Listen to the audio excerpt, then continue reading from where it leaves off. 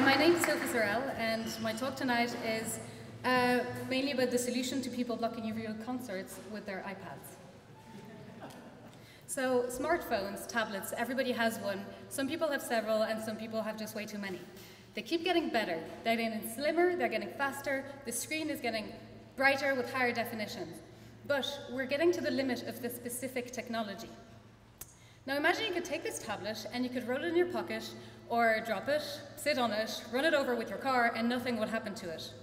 I believe this is where we're headed with the next generation of flexible displays. Now some people have made flexible displays already. Some people have even made flexible and transparent displays. But they still rely on hard and opaque circuitry to function. The goal of my PhD is to make not only the screen flexible and transparent, but the entire device. Now imagine what we could do with this smart paper. We could put it in your glasses and pretty much make smartphones out of it, and you'd be connected at all times. Or we could also make some biosensors that would blend into people's skin, or some solar cells that would be integrated into windows or people's clothes. So we really just want to make a computer transparent and flexible. What's inside a computer is a circuit. The circuit is made of parts. Each part has a specific function. We need to make each part transparent and flexible for the whole device to be. So we need something that conducts electricity, like a metal, like gold, and make it so thin that you can see light going through it. This is a 30 nanometer layer of gold. This is a thousand times smaller than a strand of hair, and it is still not thin enough to see the picture behind it clearly. So instead we started working with silver nanowires.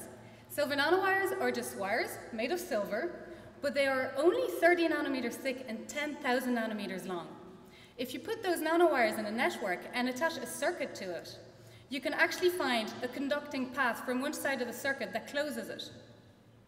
The other advantage of those networks of silver nanowires is that there's holes in them, and the light just simply goes through them.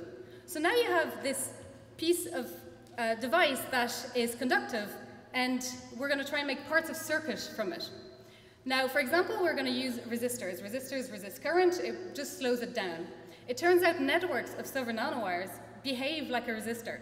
And if you change the diameter and the length of the silver nanowires, you'll just get a whole range of resistances.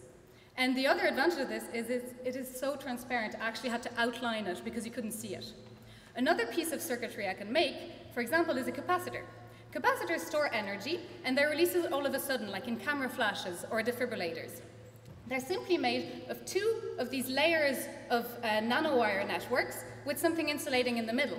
If you change the insulator thickness and the nanowire density, uh, you get a whole range of different capacitors which are completely transparent and very flexible. Now if you take all these bits and pieces and put them together, someday we will be able to go to a concert and not see it through somebody else's iPhone. Thank you very much.